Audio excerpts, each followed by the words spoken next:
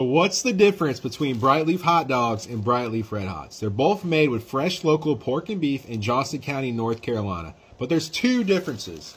First difference is Brightleaf hot dog, Brightleaf Red Hot, the size. Brightleaf hot dog, perfect for a hot dog bun. Brightleaf Red Hot, perfect for a biscuit. The other difference is the crushed red pepper in the Red Hot, which gives it a nice spicy kick. To try Brightleaf hot dogs and Red Hots, comment below and I'll be more than happy to help you out.